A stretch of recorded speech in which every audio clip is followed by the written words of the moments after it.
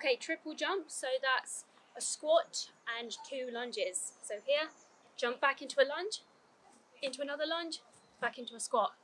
Keep that going.